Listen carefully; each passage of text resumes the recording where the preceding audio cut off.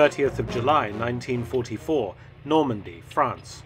Advancing British armour is about to meet a new and fearsome German vehicle for the first time with devastating consequences.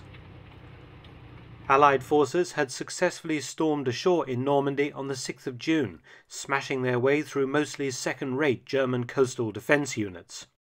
But what had followed had not been a rapid advance to Paris, but rather a very difficult and bloody battle for Normandy as well-equipped German panzer and infantry divisions had arrived to try and contain the Allied beachhead.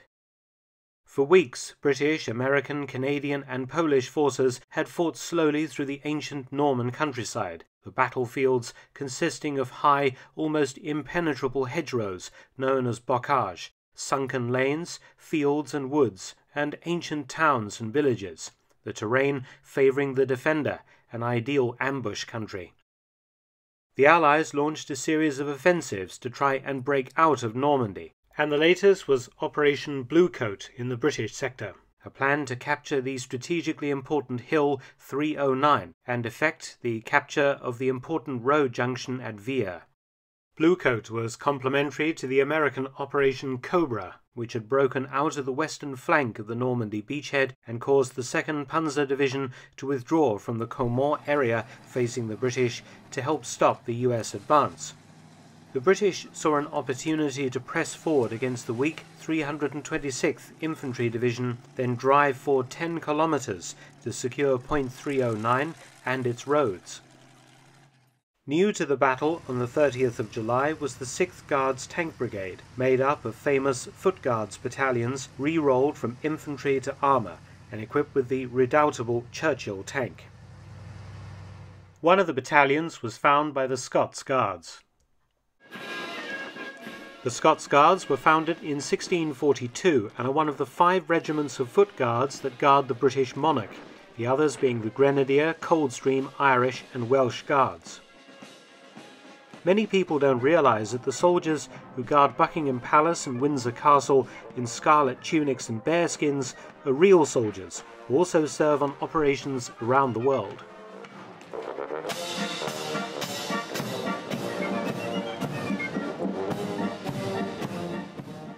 And in Normandy, the 6th Guards Armoured Brigade was in the thick of the action in their Churchill tanks.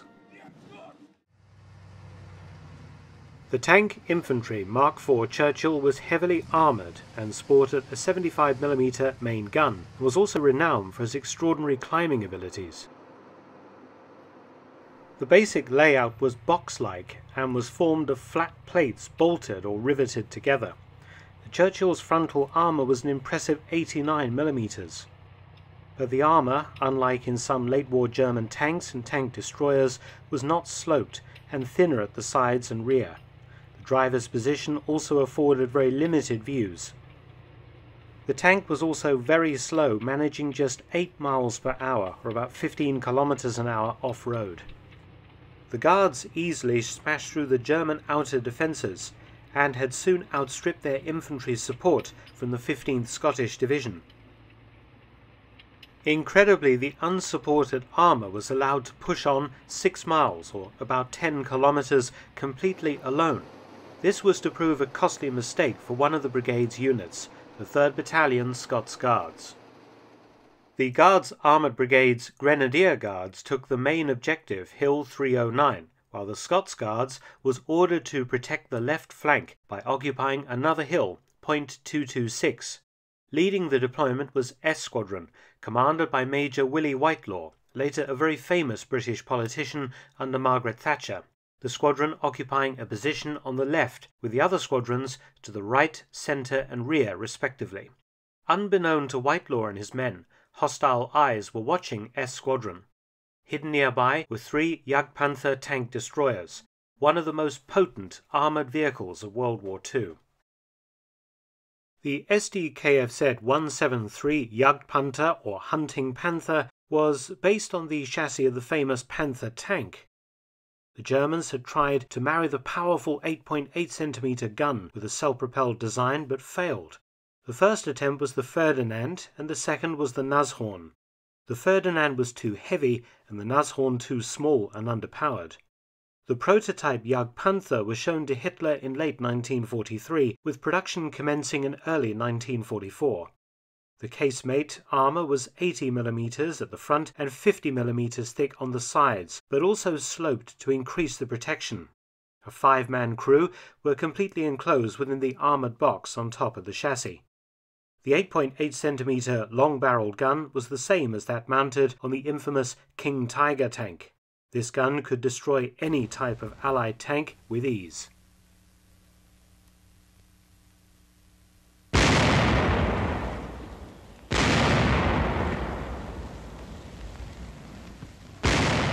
The British officers had dismounted from their Churchills and were about to assemble for an orders group when the Germans sprung their ambush.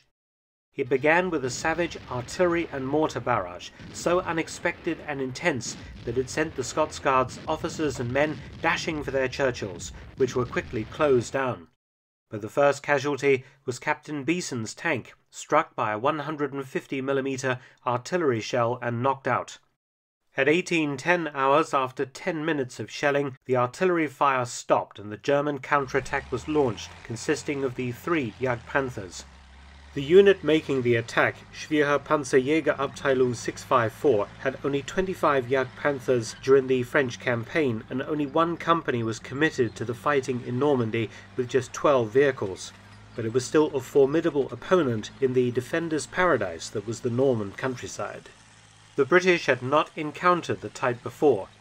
The problem for S Squadron was their exposed left rear, caused by the failure of the Scots Guards formation on the left to get forward. The Jagdpanthers attacked from thick cover about 400 to 600 yards to the left rear of S Squadron. First to go were three Churchills of Lieutenant Cunningham's troop that was watching the left flank. Covered by the fire of the other two Jagdpanthers, one broke cover and advanced directly through S Squadron's position, shooting up any Churchills it saw. The Churchills returned fire, and at least one 75mm shell hit was observed on the Jagdpanther, which sheared off and drove away north. At about the same time, a second Jagdpanther came forward and joined in the slaughter, but was engaged by several Churchills and was driven off. The German gunnery had been deadly accurate. The Scots Guards centre troop was eliminated, followed by the battalion's second in command, whose Churchill had its turret blown clean off. The right-hand troop also suffered severely at the hands of the two Jagdpanthers. The Scots Guards tottered up the damage.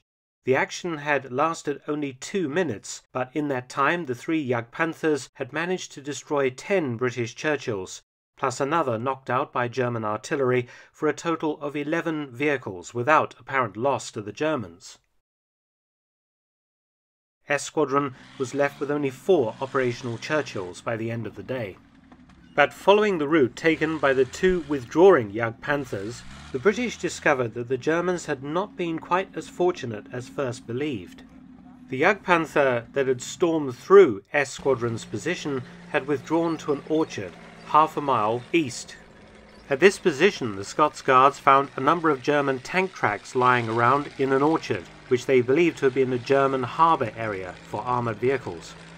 Half a mile further on, they found the Jagdpanther in a field beside the road. It had been set on fire by its crew.